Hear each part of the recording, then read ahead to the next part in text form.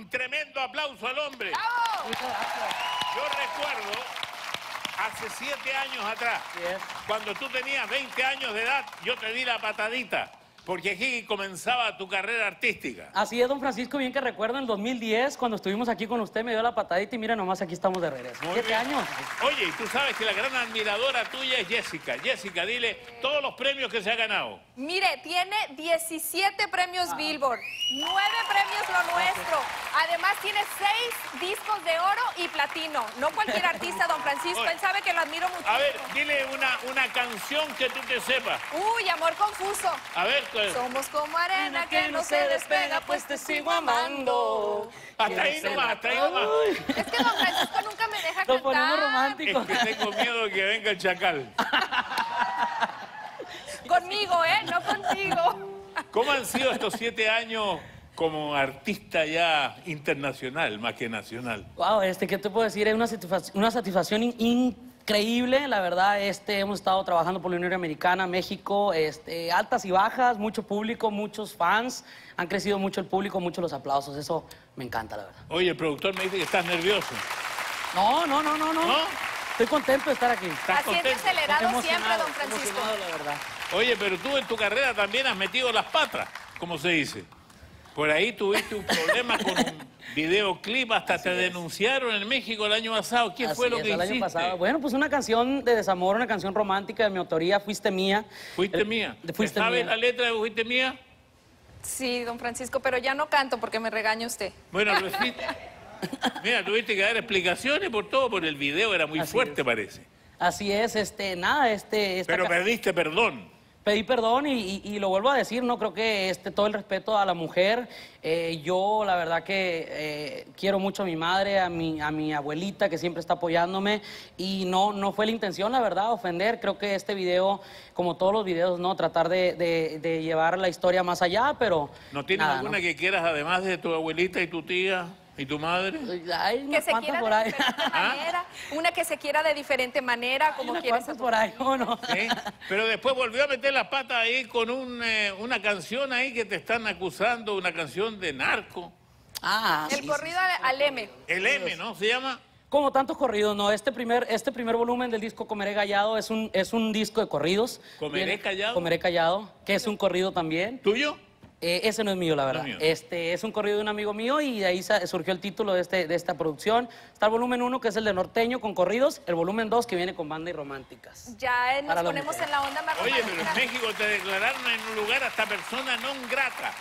Sí, este, nada, no, creo que se fue, eh, se fue más allá de lo que pensamos, ¿no? Estas letras, eh, como todo, no tratamos de, llevar la historia de estos personajes, eh, darles un- la vida, ¿no? Y darle música y, y- y un ritmo para el público, ¿no? Oye, pero ¿sabes una cosa que eh, yo quiero saber? Eh, Estos narcocorridos, ¿son un homenaje a los narcotraficantes? ¿Cómo lo, cómo lo, cómo lo, lo explicas tú? Pues es una noticia, la verdad. Estos corridos nacen de una noticia, ya sea de una noticia de un periódico, de un libro, de este personaje. eh, De una leyenda. De una serie puede ser también, ahora que, que se están dando mucho las novelas, Muchas las series, series. sí. Exacto, de un personaje de, una de, este, de este tipo de series. Y, y- y de ahí es donde vienen estos corridos, ¿no? De la noticia. Oye, mira, nosotros aquí en este programa tuvimos un señor Melquiade que venía de España, 92 años tenía el hombre. El abuelito del reggaetón que nos enseñó a hacer reggaetón. Mira, Seguramente y lo viste en las quiero, redes. Quiero, quiero que veas el video, cómo nos enseñó a hacer el reggaetón. Y os voy a enseñar a componer en 30 segundos un tema de reggaetón. Lo primero es crear un ritmo pegadizo como este. Luego hay que escribir la letra. Aquí tenéis este cuadro con palabras que si las juntáis podéis hacer miles de canciones. Por ejemplo, Mami, yo puedo encenderte lento hasta el amanecer sin miedo. Por cierto, hay dos mamis porque en el reggaetón se dice mucho mami. Luego es importante que parezca que eres latino. Y hay un truco muy fácil, cambiar la R por la L. En vez de amarte, di amarte. En vez de encenderte, di encenderte. Y así pareces de Puerto Rico total. Y lo más importante es el autotune. Es un chisme que te deja la voz como Cher.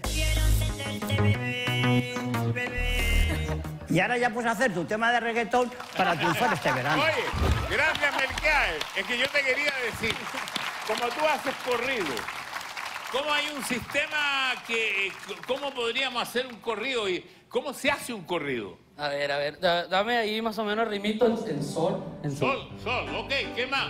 E- ese, ¿Eh? ese ritmo ya. Oiga, señor Don Francisco, ¿dónde están las mujeres?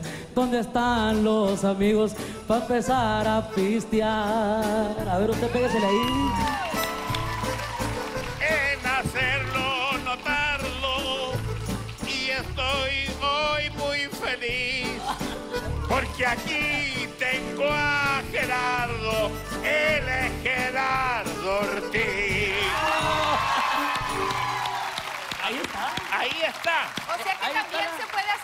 Corrido simplemente contando algo. Mira que ahora, mira que ahora los corridos eh, hablan mucho de fiesta, este, ya ves la juventud ahora con, con eh, las fiestas que se hacen a veces en las albercas, en los antros, los after parties, y hablan más de eso ahora, ¿no? Los corridos, de más fiestas se podría decir. Ah, sí, entonces, eh, eh, tú, eh, ¿cuántos corridos has escrito tú más o menos? Ay, este, corridos. Mi carrera, la verdad, de, de mis inicios empecé a, a componer corridos, entonces estamos hablando, yo creo, de más, más de, se podría decir, más de 100 corridos, se podría decir. Oh, eso sí. Tengo corridos que no se han dado a conocer en realidad. A ver, cántate uno que se haya dado a conocer. Eh, ¿Quién se anima? ¿Quién se anima? Si te anima. Sí, cómo no. ¿Quién se anima? Dijo mi compadre. Cuando me enfiesto no hay como pararle la baraja. Las pláticas largas, gente muy fina, buenas amistades. ¿Quién se anima? ¡Bravo! Don Francisco, yo le quiero preguntar a, a Gerardo, que lo conozco desde que comenzó su carrera, ¿por qué crees tú que los medios de comunicación o el gobierno en México se ensañan contigo con tu música? Porque no eres el único que canta corridos. Claro, fíjate que no me he dado cuenta que ya, ya ha llegado la molestia a algunos otros, a algunas otras agrupaciones de artistas, pero me ha tocado más fuerte a mí, creo que por eh, la atención que ha tenido el público, el cariño como me ha recibido en México y en algunos estados, ¿no? También eh, eh, la fuerza que ha tomado mi música, ¿no? Y mis, mis letras.